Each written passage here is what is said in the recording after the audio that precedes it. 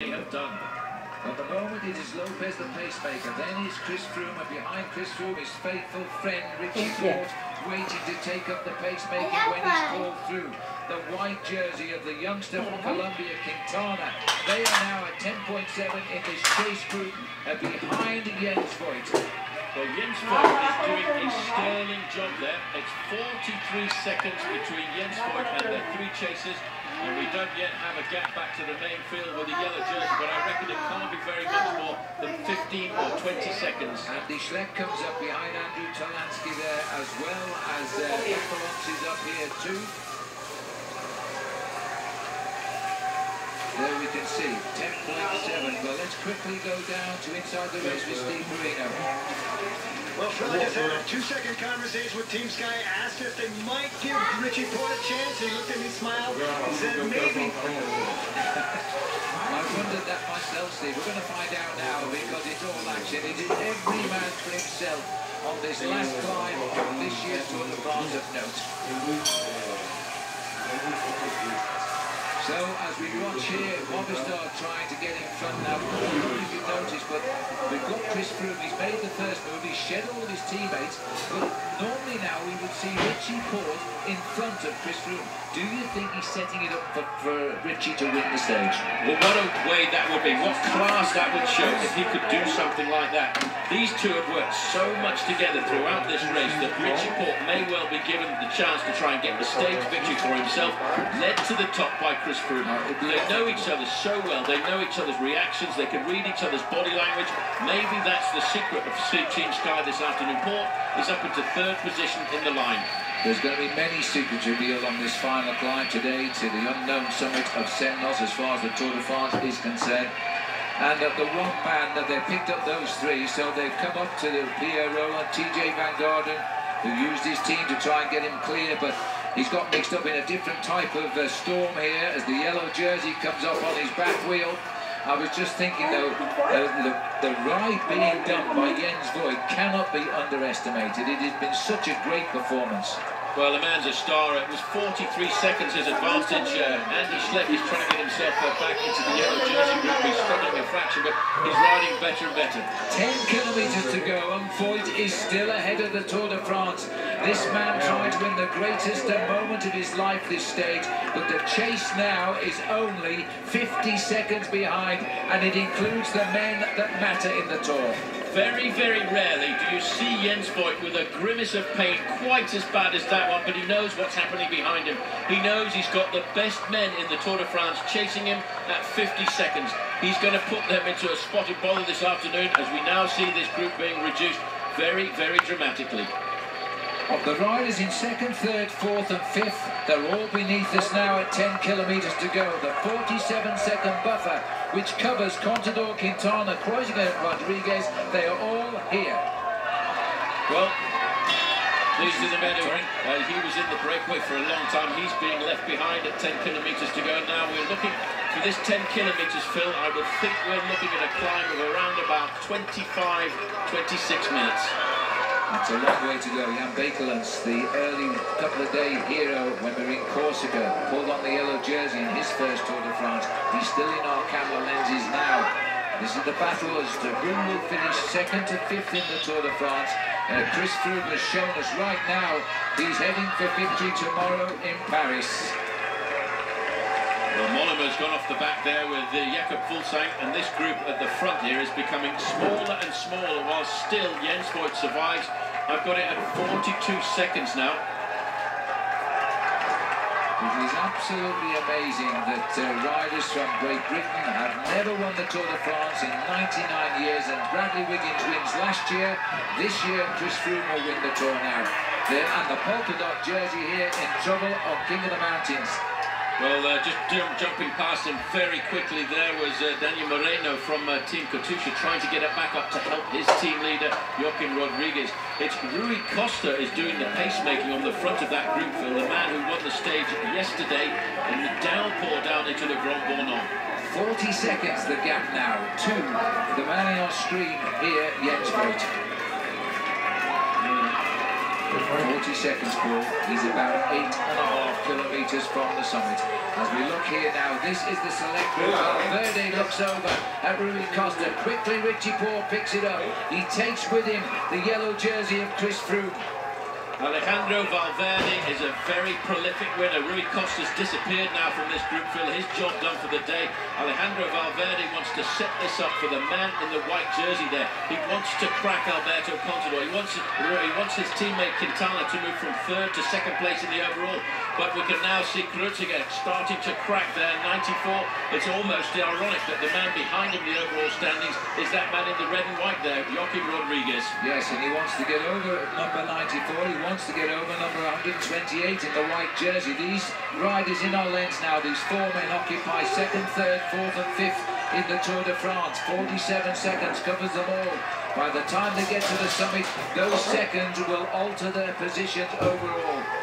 Alejandro Valverde is now burying himself. He is in the top 10 in the overall standings himself with that phenomenal ride yesterday. He's up into ninth place but you don't think about that when you're trying to help a teammate get onto the podium, get onto a higher step of the podium in the final kilometres of a stage of the Tour de France. We're 8.8 kilometres to go.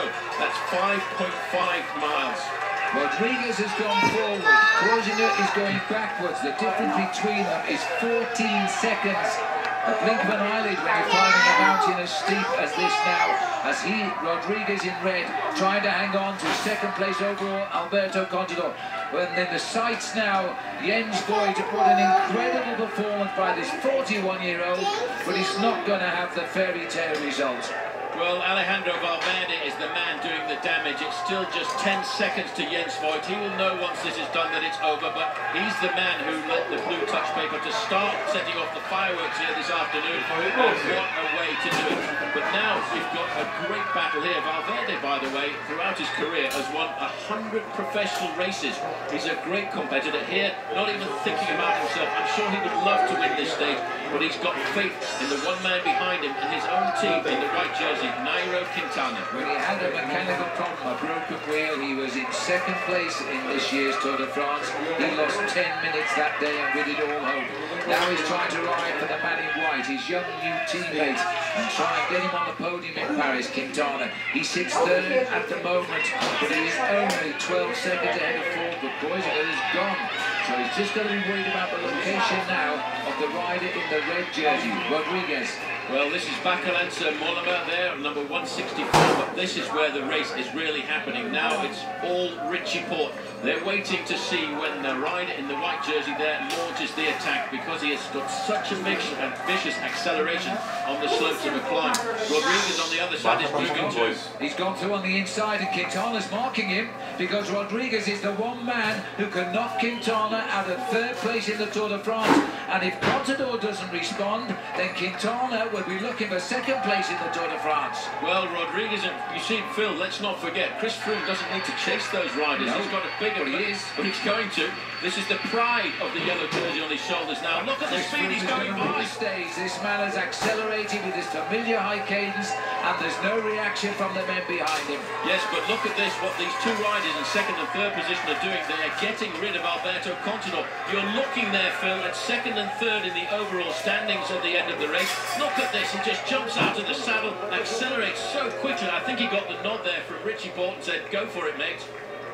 Well, he goes and joins the front runners here. He's, on, he's behind the riders who currently occupy third and fifth in the Tour de France, but they're going to be second and third unless Alberto Contador can cross that gap. And here is Contador now.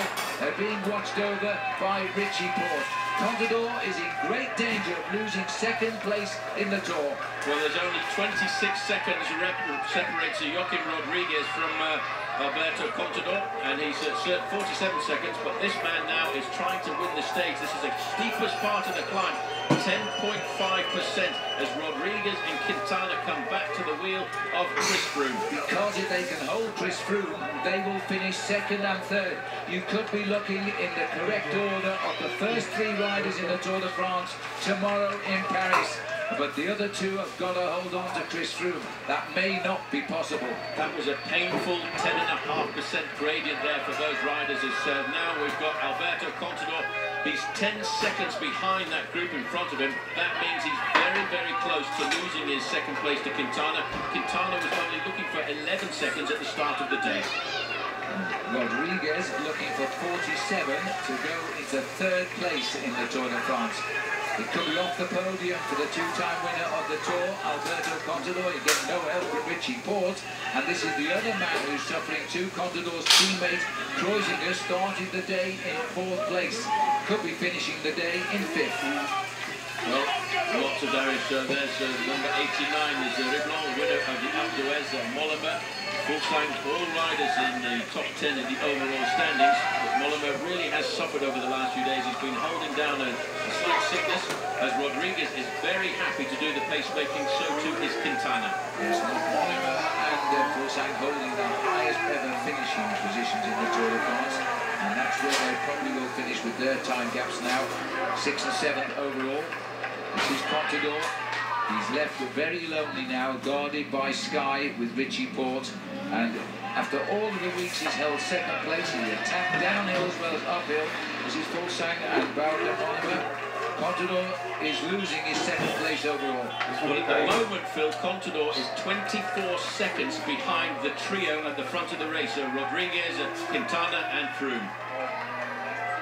A little bit of a chat here. This is a replay that has just happened.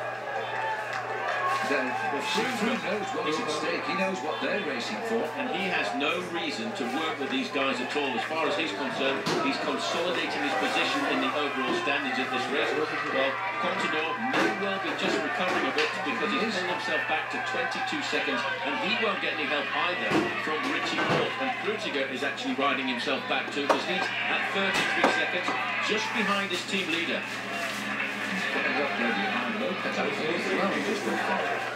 As Contador continues to race up towards, he's now, he is refining himself. He's getting into his own climbing rhythm now after all of the short accelerations, although the time gap he's saying he's gone back to 27, 26 seconds behind. Well, Rodriguez knows he's got to look for 47 seconds to get himself above Alberto Contador in the overall standings. At the moment, he has 26 seconds. He has to defend the Contador. He's a pro from Madrid. He's won the Tour de France in the, in the past, and he really wants to get onto the podium this afternoon. We knew it would come down to this. There's still 6.7 kilometres to go to the summit, and I reckon that's uh, between uh, 17 and 22 minutes. Bakelants, Mollema and Fuglsang. 6.6 kilometres to go now. And it looks as though Contador and even Kreuziger is recovering just a little bit. Uh, Chris Froome, uh, usually in this Tour de France, has company in the last six kilometres of a mountain. Remember, he won a top of the one two wearing the yellow jersey. Only uh, Eddy Merckx has ever done that before. And he won on H Tour de May and he pulled on that yellow jersey exactly two weeks today. And he's defended it ever since. Well, Kreuziger has climbed his way back to his team leader, and he's now going to go by and set the pace for Alberto Contador here over these final few kilometres. He realises what's at stake. Doesn't make that much of a difference for Kreuziger whether he's fourth or fifth in the overall standings, but for the man behind him, he's talking about the podium. He's thinking about the podium. And he's been in podium position number two for two weeks, more or less, Alberto Contador. Round the corner, though, but not very far around the corner, Chris Froome, Rodriguez and Quintana. The man on the right who never, ever lets us know how he is really feeling. Well, Froome now, Phil, is just quite happy to set his own tempo on a climb like this. Sometimes that's better, especially when you come to the steep parts of a climb. So he just sits there, hmm? and he out to the saddle climbing, which is a very different climbing style than we've seen from Chris Froome over the last three weeks of this race. He's aiming to finish his tour victory tomorrow in Paris off with a blaze of panache here as he heads up to what would be his fourth stage win. Quintana is not being distressed at all on the right. He is holding on to third and moving into second place while Contador is dropped behind him. Well, 34 seconds, uh, another 13 seconds, and Rodriguez will be moving up into a podium position at the end of the day. Rodriguez said for two weeks he wanted a podium finish in Paris. He's come down to the last climb on the mountains of the Tour de France. Kreuziger has suffered all sorts to get back to his team captain, and he's trying to bring Contador back into play. He's trying to defend second place in the Tour. Well, the gap now is 37 seconds between the three-man leading group and the Contador group. So Contador only has 10 seconds left in the bag to keep himself on the podium tomorrow night. Fuglsang there, and uh, Jens Voigt still hanging on in for a top finish at the top of the climb. Five and a half, 5.9 kilometres to go now. Contador's group reportedly has dropped back to 40 seconds. Another seven seconds, and he'll go from to the.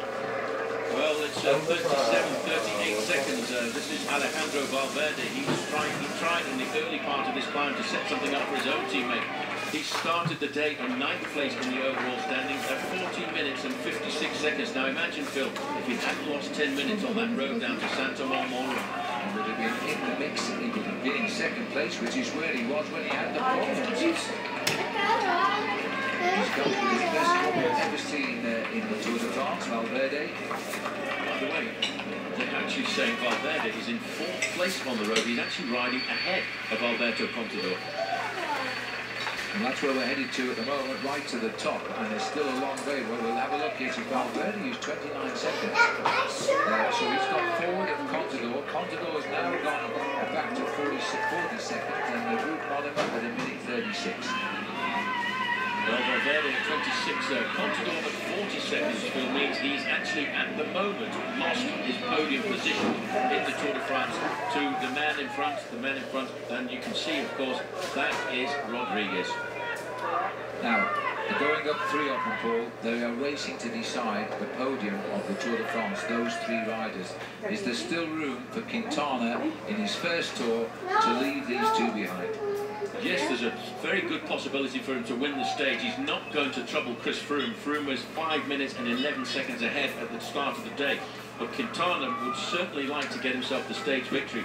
And uh, somebody sent me a photograph a little while ago, Phil, that in fact, Quintana's family are at home in Colombia actually watching the television live this afternoon, and they will be spurring him on.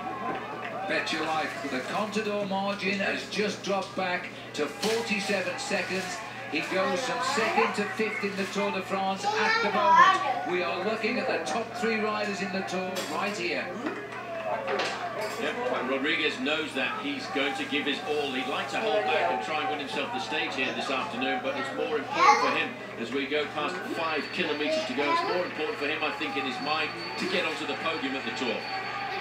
Joaquim Rodriguez has finished high in his home Tour of Spain, but he's never been like this in the Tour de France. Valverde is ahead of Contador and Kreuziger as he keeps up this relentless pressure, but he's still 45 seconds behind those three riders who are writing the podium tonight as they climb up Semnoz for the very first time in Tour history. Well, Valverde will be dropping down into fourth place overall and his teammate Kreuziger down into